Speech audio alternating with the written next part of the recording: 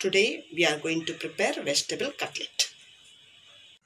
Ingredients to be used. 1 onion chopped and kept, 1 spoon ginger garlic paste, 2 green chilies, potatoes smashed and kept, turmeric powder, garam masala, red chili powder, 2 carrots chopped and kept, 7 to 8 beans chopped and kept, salt to taste, breadcrumbs, maida made into a paste.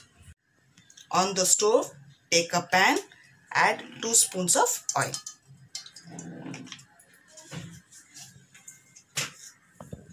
Let the oil get heated. Now the oil is heated.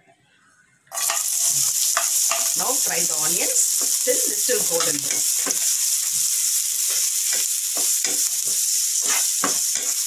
Now onions are golden brown in color. Add ginger paste, garlic.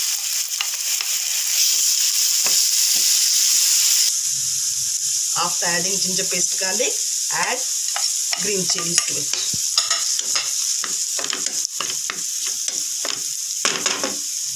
Now add 1 spoon of red chili powder, half spoon garam masala, half spoon turmeric powder. Mix it well.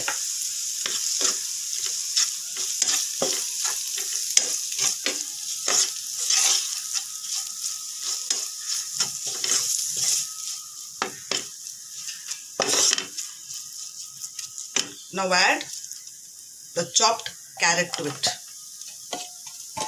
Mix it.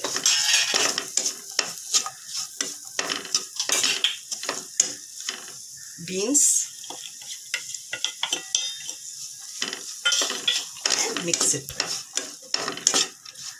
Wait for a few minutes.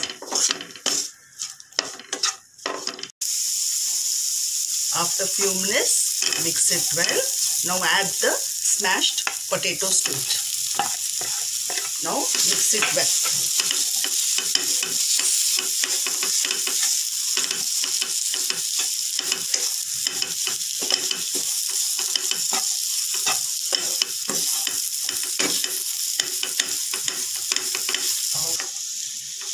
Smash it well. Now off the stove. After the stove is off, now take the mixture and make small balls like this. On the stove, take a pan, add 4 to 5 spoons of oil. Let the oil get heated. Now take a ball, put it on your palm, press it, dip it in the maida paste. After dipping in the maida paste, dip it in the breadcrumbs and dip it in the oil.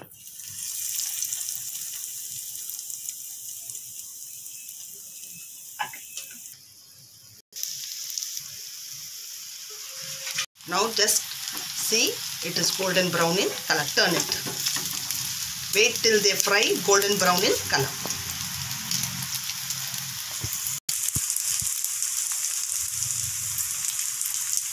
Now your vegetable cutlets are ready.